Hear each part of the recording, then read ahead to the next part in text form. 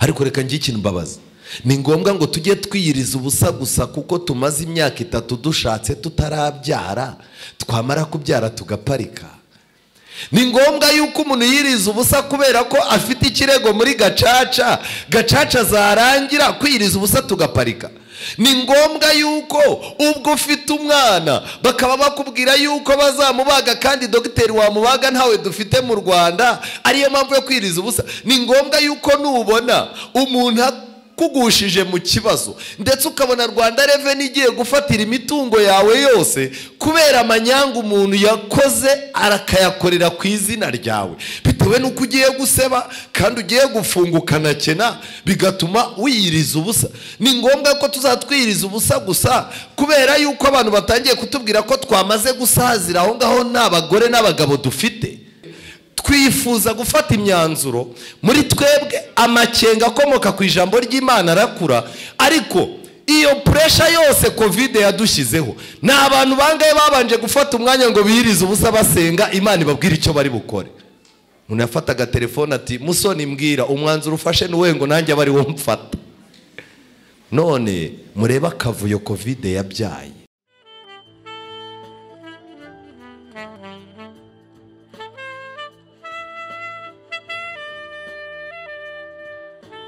Uyu mwanya.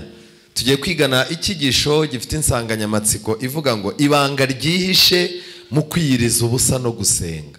Ibanga ryihishe mu kwiyiriza ubusa no gusenga. Nk'uko babibabwiye njye nitwa musoni flavier ndi umwizera wo ku muhima. Imana rero ibane natwe muri iki cyigisho tugiye kwigana kugira ngo ntiwigire undi ahubwo wiyigire kandi imana iguha imbaraga zo gushyira mu bikorwa ibyo tugiye kwiga. Ndagusaba ngo ukoreshe imbaraga zawe zose kugira ngo aya masaha yo kuramya akubere amasaha y'umugisha kandi ubashe gushyikira icyo imana yatugeneye muri iki cyigisho mu izina rya yesu. Hari impamvu ituma satani atishimira ko abantu babona umwanya wo gusenga no kwiyiriza ubusa. Ni uko abizi yuko birimo ibanga. Kandi arabizi yuko hatabayeho kwiriza ubusa no gusenga abantu ntabwo bashobora gusa n'imana ngo basabane na yo n'imigambi y'imana yinjire mu bantu. Niyo mpamvu rero satani muzasanga abantu baricara bakabaho itorero riricara rikagira ibitaramo abantu bakaza bakaba benshi. Ariko iyo utangaje yuko hari isabato yo kwiyiriza ubusa no gusenga umubare w'abantu benshi uhita ubona rwose basa naho uwo munsi utazaryoha cyane. Iyo korari isumbirijwe n'ibihe by'akaga n'amakuba n'ibigeragezo. Ikicara igategura inama. N'abantu bari baracitse muri iyo korari baraza kugira ngo bazure amatiku ya kera. Ariko iyo korari yicaye igasanga ibisubizo biri mu kwiriza ubusa no gusenga.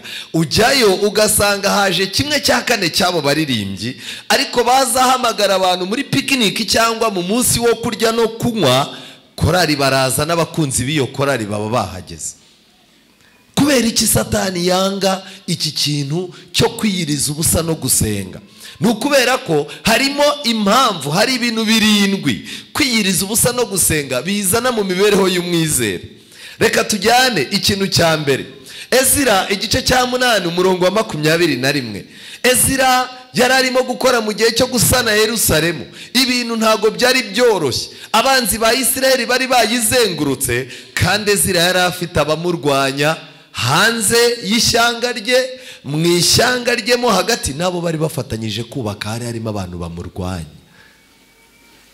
Ezira igice cya munani umurongo wa makumyabiri n'umwe. Ashaka uburyo ibintu byasubira mu buryo.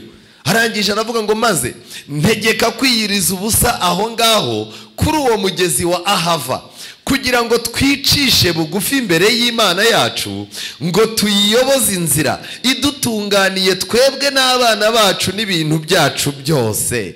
Kuko nagize isoni zo gusaba umwami umutwe w'ingabo z'abasirikare n'iz'abagendera ku mafarashi ngo badutabare ku babisha bacu bari bari mu nzira. Amen. Kwiyiriza ubusa icya mbere kwiyiriza ubusa no gusenga bitanga bituma umuntu abona inzira aho inzira yari yabuze. Umuntu abona inzira ye akabona inzira y'abana be akabona n'inzira y'umutungo we. Si mujya mugira umwanya wo gusengera akazi mukora. Ejo bundi nasomye mu gitabo cy'inama ku busonga. Bavuze yuko mu gihe ubona ibintu bitagenda muri bizinesi hari ibintu bibiri uba ukwiye gukora. Icya mbere ni ukubanza gusenga imana ngo ikwigishe ubwenge ku bigendanye n'ako kazi. Icya kabiri ni ugusaba imana ngo ikwereke ahandi wakwerekera mu gihe icyerekezo kimwe urimo gishobora kuba atari icyerekezo cyawe. Ariko twebwe iyo bigenze gutyo utangira kwijundika abantu banteye umwaku banteye inyatsi kanaka iseta yarayiroze dufite ibibazo. Wowe ubizi yuko urugo rwawe inzira urimo kureba imbere ukayibura. Ukaba ubona ahazaza h'abana bawe ukabona imbere ntuhabona. Ukaba ubona ahazaza h'imitungo yawe n'ibyo ukora ukabona ntuhabona. Ibanga rya ezira ni rimwe ni ukwiyiriza ubusa no gusenga imana ikakwereka uko ubigenza. Ikindi kintu gikomeye cya kabiri cyihishe mu kintu cyitwa kwiyiriza ubusa no gusenga. Saburi mirongo itatu na gatanu umurongo wa cumi n'umwe. Ijambo ry'imana dawidi yeruye ibintu bikomeye. Imbaraga yo gukunda no gusabira abanzi bawe abantu bakwanga. Ntushobora kuyibona n'aha mu materaniro mu nama y'itorero abantu babiri bagirana ibibazo tukabahamagara tukabumvikanisha twarangiza tugasenga tukanababwira tuti noneho ngaho nimuhoberane byerekana ko ikibazo kirangiriye aha. Cyakora ukabona umuntu arimo arahekenya iryinyo ry'uruhande rumwe urundi arimo guseka. Yarangiza agahobera umuntu ariko yasohoka agahita avuga ati mbarimo mbazi. Si icyo kibazo kiba kirangiye? Ntabwo kiba kirangiye. Niyo mpamvu uzabona iyo twicaye mu nzu y'imana benshi tuba dukubita urutoki ku rundi iyo bakubwiye bati kwa kana kabapfushije. Ujya kumva ukumva umuntu wicaye mu rusengero avuze ati nawe niyumve. Yumve ko nawe ari ku isi. Iyo bakubwiye ko kanaka iduka rye ryahiye uhita hari abantu benshi. Ibyago by'abandi bibazamukiramo umunezero cyane. Ariko dawidi yavuze ngo iki? Hari ibanga rikomeye dawidi yakuye mu kwiyiriza ubusa. Abagabo b'ibinyoma barahaguruka. Barahaguruka. Bakandega ibyo ntazi bakabimbaza. Ibyiza n'abagiriye. Bakabyitura iki? Ibibi. Wari wamererwa nabi n'umuntu wagiriye neza. Ntabwo ari we wenyine. Ibi bintu dawidi nawe yahuye na byo. Ibyiza n'abagiriye bakabyitura ibibi bikampindura nk'imfusha umurongo wa cumi na gatatu ariko ngeweho iyo barwaraga nambaraga ibigunira. Nkababarisha ubugingo bwanjye kwiyiriza ubusa ngasenga ncuritse umutwe mu gituza. Asabira inshuti ze ikintu cyavuyemo ni ikihe rero? Nkamera nk'aho ari inshuti yanjye cyangwa mwene data urwaye nkiyunamira nkambara ibyo kwirabura nk'uborogera nyina. Ariko ncumbagiye barishima baraterana abatagira umumaro banteraniraho sinabimenya. Baranshishimura ntibarorera. Hari igihe abantu baguhagurukira. Abantu wagiriye neza abantu wagize icyo umarira bose akaba ari bo bahinduka abanzi. Icyo gihe satani arakubwira ati cyaba cyiza ihanaguremo abantu kugeza ubwo ushobora gusanga n'umuntu ari umudivanisiti ariko arimo kukubwira arimo kuvugira ku isoko cyangwa muri gare arimo kuvuga ngo abadive nubwo mbasengamo narabahaze.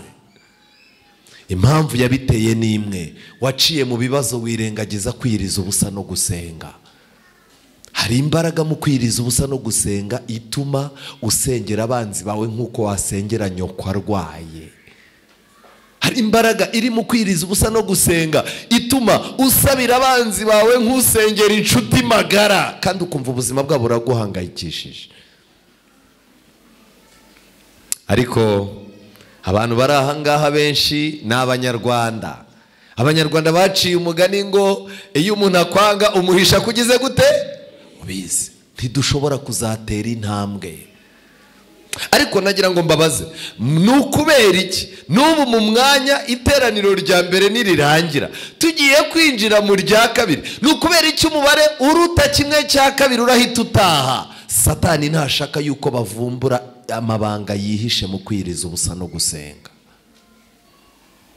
Abantu bajyaga bicara bakajya kwihisha bakajya mu bihanamanga mu bihuru ngo bagiye kwiriza ubusa no gusenga ngo kuko ni byo bituma basabana n'imana. Imana yemera yuko iri jwi ryayo ryumvikana muri generale conference. Ishyiraho kwiriza ubusa no gusenga ku isi yose mu matorero yacu. Biba gahunda ituruka mu gitondo mpaka nimugoroba. Harya abajyaga mu bihanamanga barabiretse bagumyeyo. Umugisha wa gatatu ukomeye. Urimo kwiriza ubusa no gusenga. Ariyo mpamvu ituma satani aba adashaka ko abantu no kubitekereza bahita bumva ari ibintu bigoranye. Yoweri kabiri umurongo wa cumi na gatanu. Yoweri aba bahanuzi bose babayeho mu gihe ibintu byari byarazambye nk'uko mubona ibyacu byazambye. Ariko imana ivugirira muri yoweri iravuga ngo muvugirize impanda isiyoni mutegeke kwiyiriza ubusa. Mugire iteraniro ryera. Muteranye abantu. Mweze iteraniro. Muteranye abakuru n'abana n'abakiri ku ibere. Umukwe nasohoke mu nzu ye n'umugeni mu nzu yarongorewemo kambabwire. Ikintu cyo kwiriza ubusa kirareba. Abakiri bato bagomba kubitozwa abantu bakuze bagomba kubitozwa. Abantu bakoze ubukwe vuba bakiri mu munsi mikuru abantu bari mu bintu by'inkundo bagomba kumenya ko kwiriza ubusa no gusenga bifitanye isano n'intambwe buri mwizera wese atera.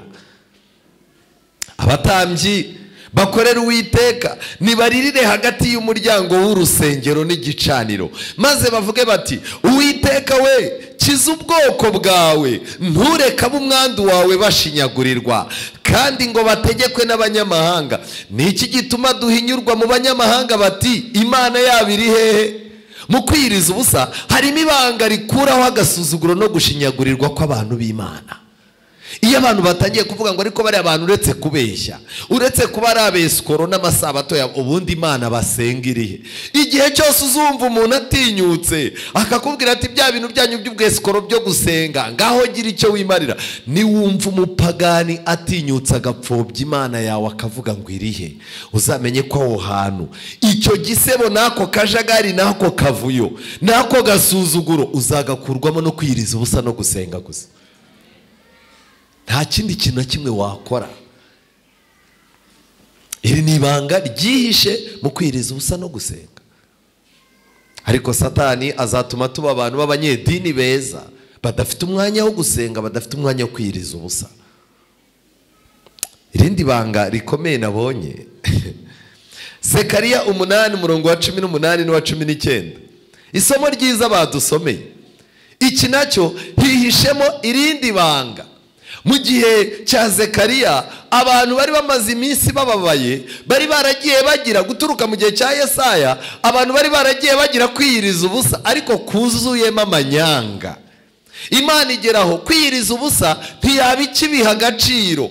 Abantu rero barangije babaza imana batariko ni ukubera iki twiyiriza ubusa ntutwumve kandi ntako tuba tutagize. Yesaya igice cya mirongo itanu n'umunani mbere y'uko tugaruka kuri zekariya umunani cumi n'umunani yesaya imana yari yabwiye abantu bo mu gihe cya yesaya impamvu zituma kwiyiriza ubusa kwaba imana itakumva. Yesaya mirongo itanu ibaha igisubizo mbiterwa n'uko ku munsi wanyu wo kwiyiriza ubusa muba mubonye uko mwinezeza ubwanyu. Mu gihe cya yesu abafarisayo biyirizaga ubusa kabiri mu cyumweru. Ariko ntabwo birizaga ubusa ku mpamvu zo guhinduka k'umutima. Biyirizaga ubusa kabiri mu cyumweru impamvu ebyiri. Iya mbere kwereka abantu ko ari abantu b'imana bashobora ibyo abandi bananiye. Impamvu ya kabiri ubuzima bwo kurya muri Yerusalemu bwari bugoye ku buryo wagiraga amahirwe. Ugakubitamo agatekinike ko kwiyiriza ubusa. Amafaranga bagombaga kurya muri iyo minsi ibiri bayaryaga mu kindi cyumweru kizaza. Yesu arangije arabavumbura. Agarura ibanga imana yari yaravuze mu gihe cya Isara aravuga ngo nimwirize ubusa. Ibyo mwagombaga kurya mujye mubiha abagize gute? Nanone birongera biba ikibazo. Ariko reka njye ikintu mbabaza ni ngombwa ngo tujye twiyiriza ubusa gusa kuko tumaze imyaka itatu dushatse tutarabyara twamara kubyara tugaparika. Ni ngombwa yuko umuntu yiriza ubusa kubera ko afite ikirego muri gacaca. Gacaca zarangira kwiriza ubusa tugaparika.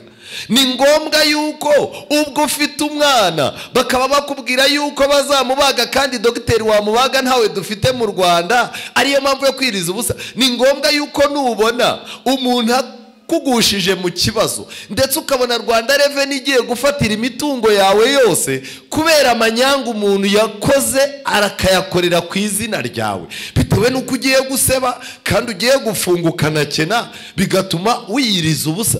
Ni ngombwa ko tuzatwiyiriza ubusa gusa kubera yuko abantu batangiye kutubwira ko twamaze gusazira aho ngaho nta bagore n'abagabo dufite.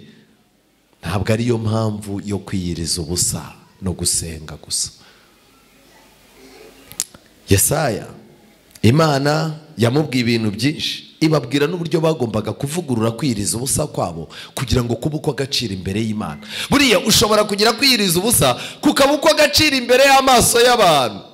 Mu gihe cya yesu abantu birizaga ubusa iminwa bakayikuba. Wajya kubona ukabona umuntu mu maso yakubititse ku buryo umureba ukavuga uti ntacyo atakoreye imana rwose. Yesu arangije arababwira ati mugerageze ibyiza mukora ntibikamenywe n'abaki n'abantu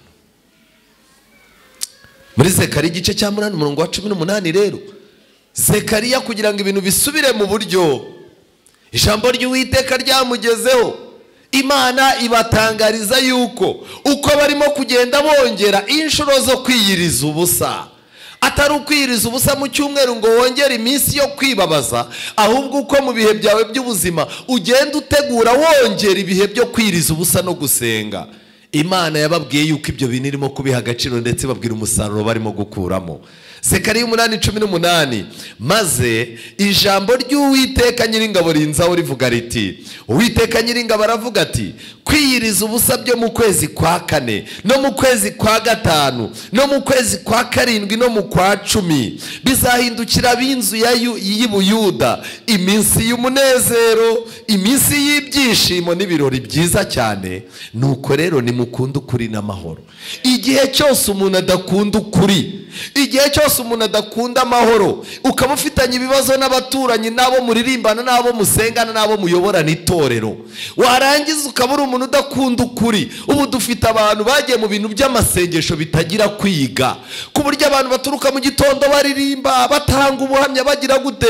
Wajya kubumbura bibiriya bakakubwira bati ntitukirabe inyuguti. Aba bantu ntibashobora kuzagera aho bagera. Kwiriza ubusa kugomba kubakira ku bintu bibiri. Kuba uri umuntu ukunda amahoro kandi uyarwanira. Kuba uri umuntu ukunda ukuri. Imana yarabibabwiye rero ababwira ngo uko mukomeza kongera inshuro zo kwiriza ubusa nanjye biranezeza kandi muzasaruramo umunezero n'ibyishimo.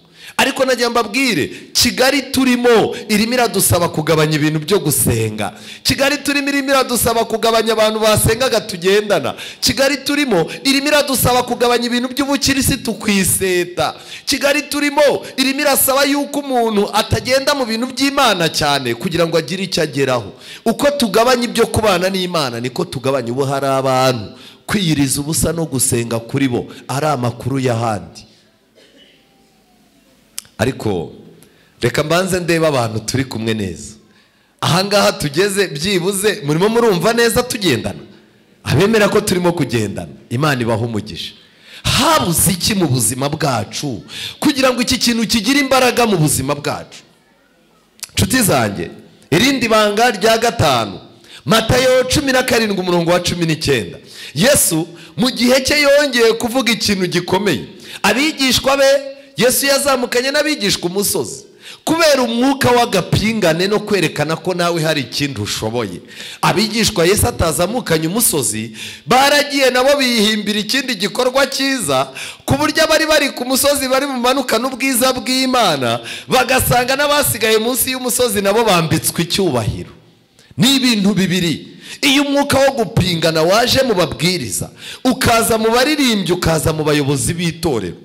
Abantu babana n'imana imana irushaho kubambika ubwiza bwayo. Ariko abandi batambaye ubwiza bw'imana baharanira kwambikwa n'abantu icyubahiro. Yesu yamanukanye n'abigishwa bari bafite ubundi buryo basa. Kuri uwo musozi ishusho ya yesu yari yahindutse ukundi berekwa amabanga adasanzwe abatazamukanye nabo baragenda bajya kwiyahura ahantu ngo bakore igitangaza kugira ngo abigishwa nibaza kumanuka batanga raporo yo ku musozi nabo baze gutanga raporo yo mu badayimoni. Cumi n'icyenda maze abigishwa begera yesu biherereye. Bati ni iki cyatumye twebwe bitunanira kumwirukana? Dayimoni twasengeye ngo avemo akanga yesu arabasubiza ati ni ukwizera kwanyu guke ndababwira ukuri yuko mwaba mufite kwizera kungana n'akabuto ka sinapi. Mwabwira uyu musozi muti va hano ujye hirya wahava kandi nta kizabananira. Makumyabiri na rimwe. Ariko bene uwo nguwo uwo mudayimoni wananiranye ntavanwamo n'ikindi keretse gusenga no kwiyiriza ubusa. Amen. Kubw'ibyo rero mu kwiriza ubusa harimo ibanga rituma dushobora ibyananiranye. Harimo ibanga rituma kwizera kwacu gukura. Harimo ibanga rituma dayimoni uri muri twebwe wananiranye yirukanwa mu izina rya Yesu. Ntutegereze yuko dayimoni wakuzengereje buri muntu wese uri aha afite umudayimoni w'umwe wamuzengereje. Ubwira abandi ngo nimwigendere nsigare ku iseta. Kambabwire. Igihe wabatizwaga hari abadayimoni bagiye bagenda. Abadayimoni bo kwiba abo gusambana ku mugaragaro abo kugira gute abo badayimoni baragiye. Ariko niba utemereye umwami Yesu ngo yeze umutima wawe hari dayimoni wabwiye abandi ngo nimwigire ahandi aha muhandekere. Ku bantu bajya bakina umupira hari igihe umuntu yicara akakubwira ati umwanya wawe wice ndahakina hombi. Igendere. Inshuti zanjye. Iki kintu cyakunaniye bahora babwiriza ukumva ni ikibazo wasoma ibyanditswe byera ni ikibazo ku buryo wumva n'ubwami bw'imana. Utabwiteguye ku buryo buri gihe uhora utewe ubwoba no gupfa kuko upfuye waba upfuye nabi. Uyu mudayimoni nta kindi. Ese wemera kuri mubi? Wemera kuri mubi? Wemera ko ufite ububi runaka? Ubwo bubi runaka ufite rero nta kindi kintu. Ntuzasengeshe ntuzabwire abantu ngo bagushyire mu ngobyi y'amasengesho. Ndagira mbabwire ngo hakenewe umwanya wawe n'imana ukeneye kwiriza ubusa no gusenga. Ukavuga ngo ni ukubera iki? Umugabo wanjye buri gihe mubwira amagambo mabi. Ni ukubera iki umugore wanjye buri munsi ntamwishimira? Ni ukubera iki umwana wanjye buri munsi? Mba numva namufitiye icyizere kandi nkamubwira amagambo y'urucantege. Ukwiye kwicara ukumva impamvu buri gihe mu itorero. Ari wowe muntu wicayemo uri konsoma nta kintu rimariye. Ibyo rero kugira ngo biveho hakenewe imbaraga ikomoka mu kwiriza ubusa no gusenga. Ndabizi. Kenshi na kenshi ababwiriza bagiye bakora amateraniro amavuna hano. Ndetse no ku nsengero zacu zindi. Habaga umwanya abizera bakaza gushaka umubwiriza. Bakaza gushaka pasitoro biherereye. Bakamubwira ati pasitoro buriya ndagukunda. Uri mu bapasitoro batandukanye n'abatuyoboye. Buriya nubwo uja mfite akadefo. Iyo utangiye kukita akadefo uba urangiye. Mfite akadefo buriya nkunda abagore b'abandi. Umva byarananiranye narasenze biranga. Ndone ndashaka. Nabonye uri umuntu w'imana. Ni nawe mbwiye ibintu byanjye abandi narabibahije. Ariko wakisa gake? Akadefo. Igihe cyose ufite ububi bungana n'umusozi warangiza ukabwita akabuye gatoya. Uba ufite akaga kuko icyo imana ikora akaha gato imana iragatubura ukabona ko ari icyaha kinini. Rero kamere iri muri twe ifata icyaha kinini ikakigira akantu gatoya. Ndakwinginze sabira ubuzima bwawe. Irindi banga rikomeye rya gatandatu ririmo kwiyiriza ubusa no gusenga. Byakozwe no mu gice cya cumi na gatatu umurongo wa mbere. Imana yifuzaga abantu igomba gukoresha mu murimo. Kandi abo bantu ntibagombaga gutorwa hakurikije amarangamutima y'abantu. Muri iri torero ntabwo natwe byemewe. Gutora abantu ukurikije amashuri bize ukurikije impano bafite mu biganza amafaranga cyangwa ubundi bushobozi bw'urufunguzo rwafungura ahandi hantu ntabwo dutora abantu dukurikije amarangamutima yacu ahubwo twakagombye gutora dukurikije uko imana yabishatse n'abo yateganyije. Kuko imana ibireba imbere ibibazo itorero rizacamo ni na yo itora abantu bazashobora guhangana na bya bihe. Igihe intumwa zari zigiye gutora rero cyakozwe n'umwa cumi na gatatu umurongo wa mbere.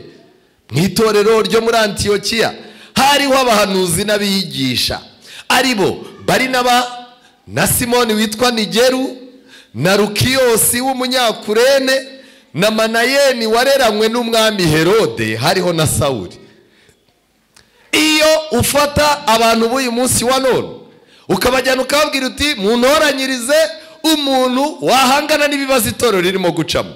Muri kiriya gihe intumwa zari zirimo kubangamirwa na politike cyane. Ku buryo umuntu w'umunyabwenge ureba kure yari guhita avuga ati mutore rukiyosi mutore manayeni uyu yareranywe n'umwami herode. Bazagendera muri icyo kintu cy'ubucuti itorero rigiriremo iki? Amahirwe. Ariko bihaye gahunda baravuga bati rero ntabwo ari twe tuzi ibyo imana ishaka imana niyo izi ibyo dukeneye. Dufate umwanya wo gusenga no kwiyiriza ubusa. Barasenze biyiriza ubusa. Kuko amahitamo imbere yabo buri muntu wese baramurebaga bakabona arashoboye ni we wakora. Ariko imana ku murongo wa kabiri igice cya cumi none twebwe umuntu arajya gutorwa kugira ngo atorwe akabanza agakora robingi agaca mu bantu erega buriya iwacu ku itorero nta bakuru b'itorero tukigira mubabona mu matorero no mu mibyizi se buriya se iyo tugiye gutanga amafaranga y'inyubako mubona hari utangamo menshi. Reka bariya bantu buriya imana yabashyize ku ruhande. Umva uwampa imana bizera uyu mwaka bakazabona icyo imana ishaka? Nawe arimo arashaka iki? Abizera barangiza bati dutore kanaka aziranye na meya. Bakaba bamutikuyemo mutore kanaka azatuvuganira akora muri banki ni we ushinzwe umutungo. Ninde wakubwiye ko iri torero rijya mu madeni? Aba bantu guhitamo intumwa byarazicanze ko buri wese ku ruhande rwe yari afite akamaro. Ariko imana niyo yari izi ibifite akamaro kurusha ibindi. Kwiyiriza ubusa no gusenga birakenewe mu mahitamo. Cya gihe ufite abasore batatu bagukunda. Abo basore bakaba bagushyizeho puresha ku buryo telefone amatwi yamaze gushyuha. Buri wese arimo kwivuga ibigwi akubwira ati dore nge ndafatika ntabwo meze nk'aba bandi b'iki gihe. Wakwegera umudiyakonikazi ngo umugishe inama uti ko mbona uri umumama ukuze? Buriya ndakwemera kuva naza mu itorero. Mfite abasore batatu kanaka na kanaka na kanaka urumva nahitamo nde kugira ngo nanjye nzagume mu nzu y'imana nsaziremo nkawe ugahita usanga nawe yamaze kurya komisiyo. Katagwira ati umugabo ni kanaka. Ariko reka njye ikintu mbabaza. Ahangaha aba babyesi ntibahaba. Ababyesi barahari. Hano hari abantu bahashaka injyawuro ku kintu cyose gikorwa. Ubu wabona hari n'abicaye ahangaha umuntu aha amafaranga y'inyubako bakayageza ahayabaye kimwe cya kabiri bakuyeho imibyeto. Amahitamo yacu. Kimwe mu bibazo kovide yaduteye. Twasomye ibyanditswe twifuza gufata imyanzuro. Muri twebwe amakenga akomoka ku ijambo ry'imana arakura ariko iyo puresha yose kovide yadushyizeho ni abantu bangahe babanje gufata umwanya ngo biyirize ubusa basenga imana ibabwire icyo bari bukore. Umuntu yafataga telefone ati musoni mbwira umwanzuro ufashe n'uwe ngo nanjye aba ari mfata? None murebe akavuyo kovide yabyaye. Kwiriza ubusa no gusenga birakeneye mu mahitamo. Ikintu cya karindwi cyanangaje. Murebe muri daniyeli igice cya gatatu. Hari ibintu biranga umuntu wirije ubusa no gusenga. Hari imbaraga yindi imana iha umuntu itari imbaraga zisanzwe. Bantu b'imana nagira mbabwire ngo twarahombye twarahombye cyane. Intege nke dufite zirangana n'icyuho dufite mu gusenga no kwiyiriza ubusa. Kubera iki nakomeje kuvuga kwiyiriza ubusa no gusenga? Ni uko kwiyiriza ubusa ukwabyo nta kintu biba bisobanuye. Abanyakigali mwese murabizi hari impamvu eshatu i kigali zituma tubwirirwa kandi zidafitanye isano n'iby'imana. Hari igihe urimo gukora muri karitsiye resitora zaha ibiryo bihenze. Ugasanga iyo uri bukorere ntabwo uri buyategemo ngo uyageze mu rugo babone n'iposho ukavuga uti rero nk'umugabo nemeye gupfiramo mu rugo kugira ngo bagire icyo bageraho. Waganira n'umuntu ukamubwira uti ubu nabwiriwe rwose aturi intwari. impamvu ya kabiri hari igihe ugira akazi wari warabuze kakagutera kuraje kubera inyungu urimo kwinjiza utaherukaga kwinjiza ugashiduka bibaye saa cyenda ugahita wibuka ko resitora za saa cyenda ibintu biba byazambye. Ukavuga uti kama mbaye mbaye. Impamvu ya gatatu hari igihe ibibazo bikwica bikica igifu ukaba uriho utazi ko uriho. Ntujye umenya ngo wariye cyangwa ntiwagize gute? Ntiwariye. Ariko ikintu kintangaza. Nshobora kubwirirwa iminsi ibiri mu cyumweru bitewe n'icyo nkurikiye. Ariko gufata umunsi umwe ngo nkwite uwo gusenga no kwiriza ubusa nirirwane n'imana. Igifu gihita kikubwira kiti singiye gupfa.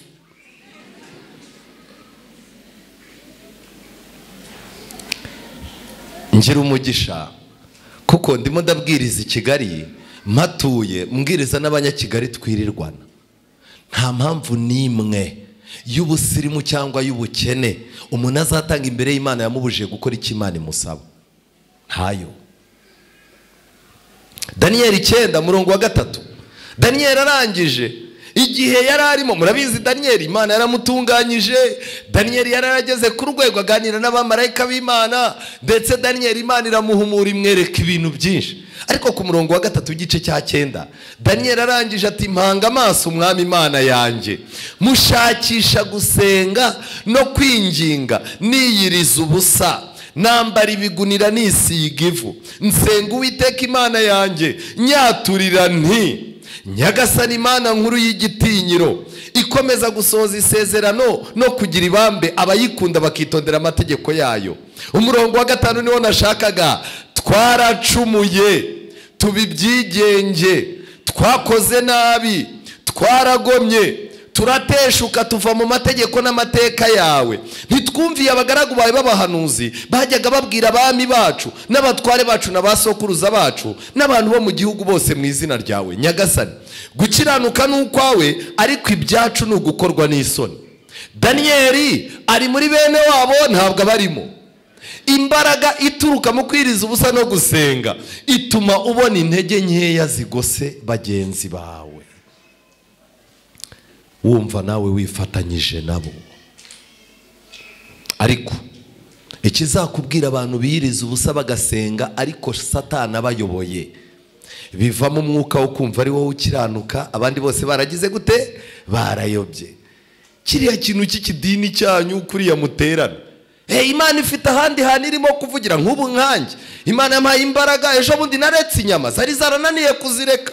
Iwanyu se abakuru b'itorero ntibazirya? Ni ukuri rwose ngewe ndabona hari ibintu imana irimo kunkoramo bikomeye. Erega buriya kugira ngo ube mwiza bigusaba kuva mu bantu babi ngo batakwanduza icyo ni ikimenyetso cy'umuntu wiyiriza ubusa ashorewe na satani.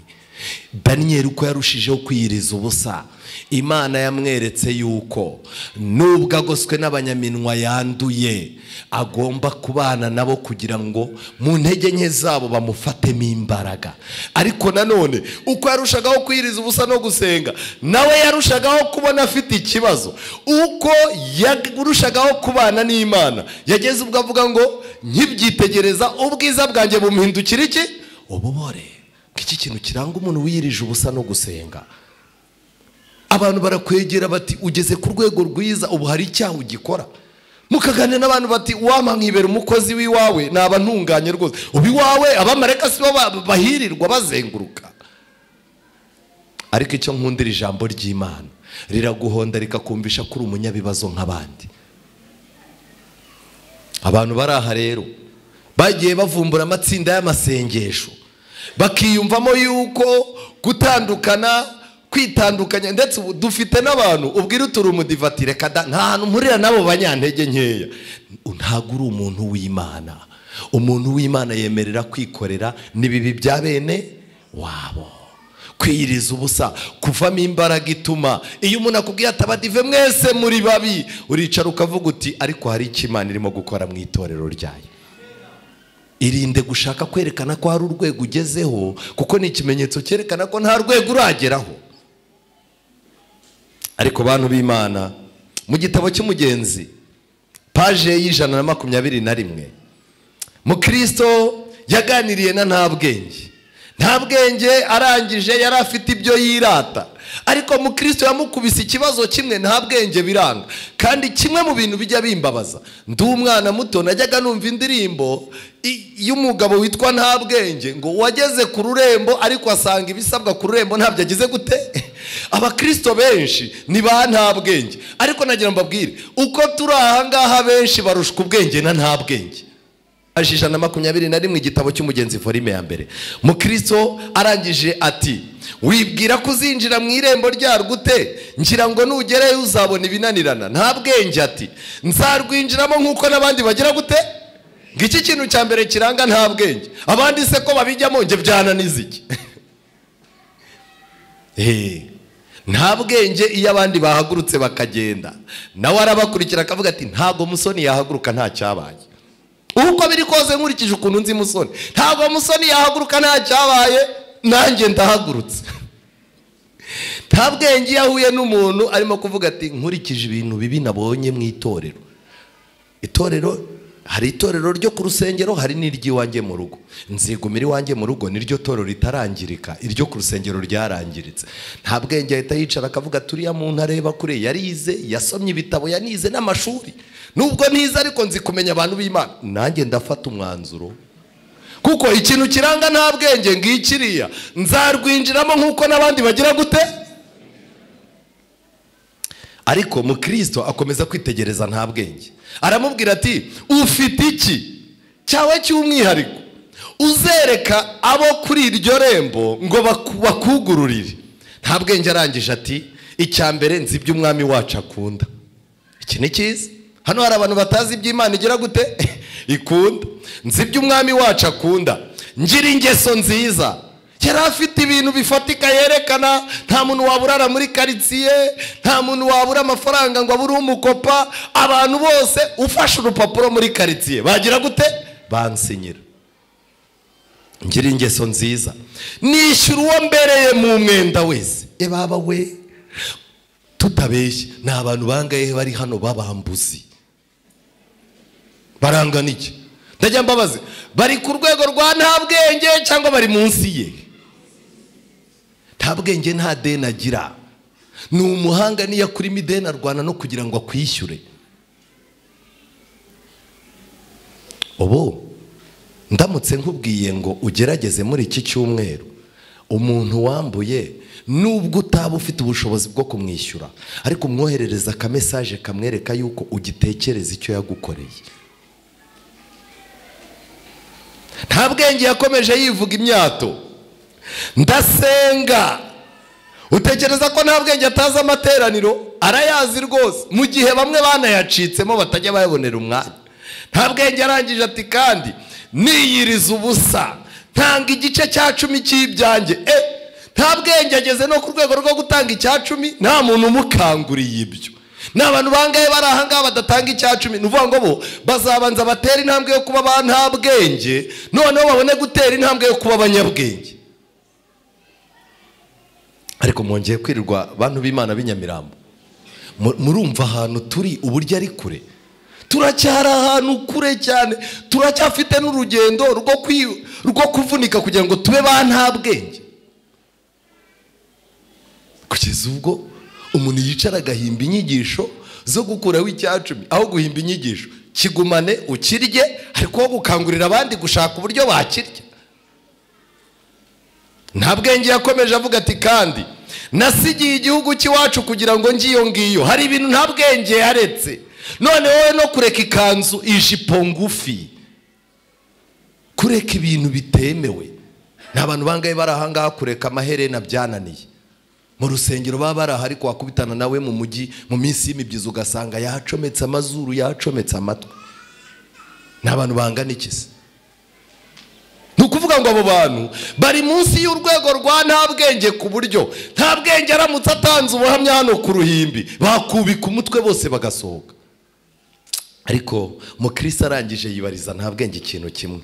Kutinjiye muri rya rembo rirasukirwaho ryo muri iyo nzira ahubwo waciye muri iyo nzira nto y'ikigorogoro ni cyo gitumye n'ubwo wiyogeza ntinya yuko ku munsi w'urubanza utazinjizwa. Abantu ba nta bwenge ntibajya batekereza ku munsi w'urubanza n'uburyo baje. Ndakwinginze uyu munsi. Tekereza uko waje wibuke icyakuzanye usaba imana igira ikiguhindurira. Ariko hari amagambo akomeye nasomye mu ntambaro ikomeye. Paji ya mirongo itanu na gatanu. Baranditse ngo uko niko abantu b'inziramakemwa bari baraboshywe n'inyigisho za roma. Mutege amatwi satani yazanye tekinike yindi yo kwiyiriza ubusa ariko iturutse i roma. Iyo tekinike yaragiye ijya mu madini ya giporotesitanti ubu uyu munsi wa none hari ubwoko bwo kwiyiriza ubusa bwamaze kugera mu matsinda y'abitwa abadivanisiti ariko budakomoka mu byanditswe byera. Ahandi biyiriza ubusa bakaba batora umuntu bemera ko avugana n'imana. Uwo muntu mwese bakamuterera agatebe ukazazuza. Nitwa kanaka nakoze ibyaha ibi n'ibi none nsabira imana imbabazi. Ubivuze byose cyangwa hari icyo uhishe? Hari icyo nari nguhishe? Umugabo wanjye umwana wa mbere si uwe. Nta kindi uhishe? Wenda ikindi nari mbahishe kugira ngo mutazabivuga nigeze gukuramo inda. Byose birarangiye byose birarangiye. Ngiye kugusengera urataha ubohotse mu izina rya Yesu. Iyo ngiyo ni intebe ya penetensi ya satani yateretse mu madini ya giporotesitanti none mu matsinda ya kidivanisiti hatangiye kuboneka ngo abantu b'imana bareba kure kurusha abandi. Ku buryo ugomba kumubwira ibibazo ufitanye n'umugabo ukamubwira ibyo uteganya gukora ukamubwira ibintu byose yarangiza akakubwira ati kora iki n'iki imana ishaka? Uyikora iki imana ntigishaka abantu ibihumbi byinshi. Nkomeze nsome intambara ikomeye. Basigaga inshuti n'ab'imiryango yabo bakajya kwibera mu bigo by'abapadiri. Abantu ibihumbi byinshi barushwaga n'ubusa bashakira amahoro y'umutima mu kwiyiriza ubusa kenshi no kwikubita bakibabaza cyane. Mu masengesho ya mu gicuku mu kumara igihe kirekire bapfukamye ku mabuye akonje kandi atose yo mu mazu acuza umwijima babagamo. Mu gukora ingendo ndende cyane mu kwicuza ibyaha byabo bicishije bugufi no mu kwibabaza bikabije. Kubera kubuzwa amahwemo no kumva ari abanyabyaha ndetse no guhora bafite ubwoba bwo kugerwaho n'igihano cy'umujinya w'imana.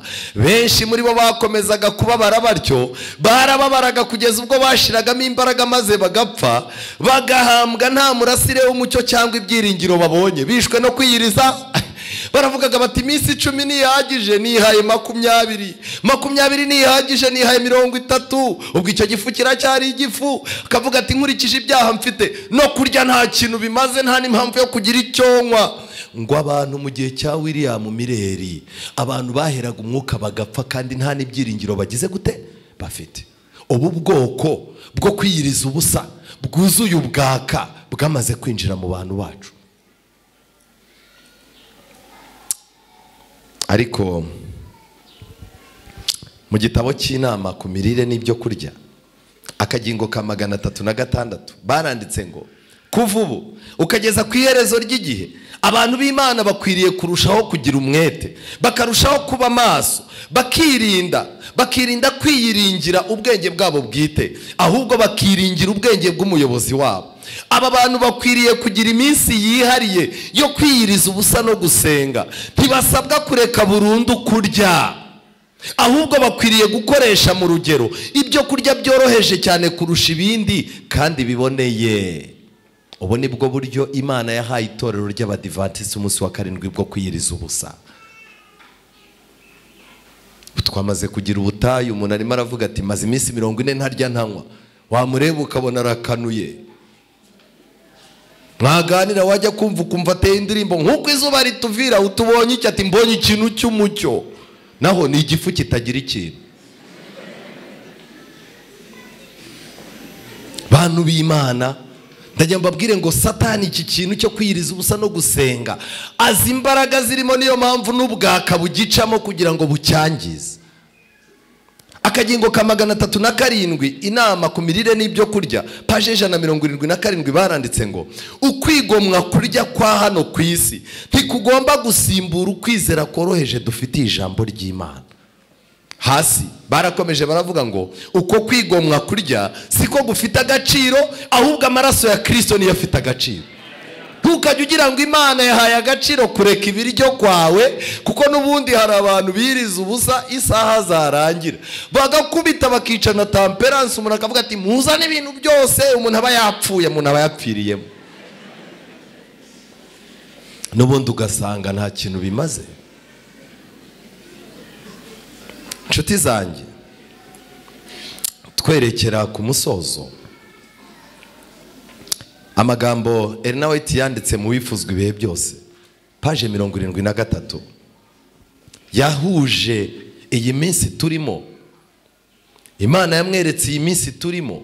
Imana imwereka ibanga ry'abazanesha aho rizaturuka kwirundumurira mu bikorwa bidafite gitangira ndetse n'indwara zibikomokaho no guta agaciro byariho mu gihe cyo kuza kwa mbere kwa kirisito nanone bizongera kubaho. ibiki bizongera kubaho? Kwirundumurira mu bikorwa bidafite gitangira ndetse n'indwara zikomoka kuri uko kutitangira. Byabayeho mbere y'uko Yesu avuka bizongera kuba mbere y'uko agira gute? Agaruka.